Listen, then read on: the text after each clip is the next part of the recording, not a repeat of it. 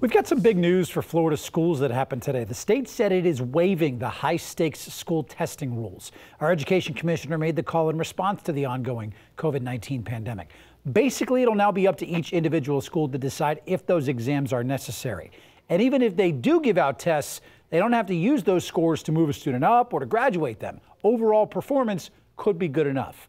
Our Madison Alworth asked Pinellas County Superintendent how it's all going to work and spoke with a parent who says she is grateful but also a little concerned. Whether a student is ready for graduation or the next grade will not be determined by Florida State assessments this year. Teachers have been teaching and providing assessments and quizzes and, and end of course or chapter. I mean, that, that's part of their options and, and, and what they do each and every week and day. The entire year will be taken into consideration because, well, it's been a weird teaching year with COVID 19. Hoping that my kids are going to be ready for the next year is something that I'm taking very seriously as a parent.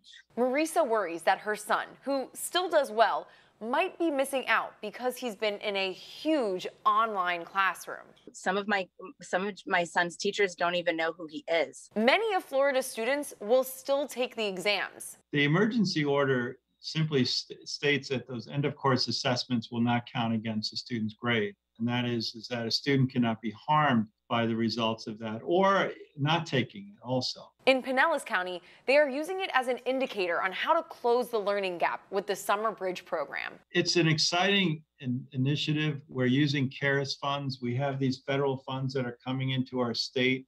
This is the time that we have to really take advantage. What can we do to eliminate any kind of learning gap. Parents like Marisa hope that the learning gaps can be addressed efficiently. He's going to be in English 3 next year regardless and he's going to have to be uh, held to all of the standards no matter what. So if he's not prepared, he might pass this year, but again, he could fly under the radar with things that he might have had to have learned that he maybe didn't learn this year.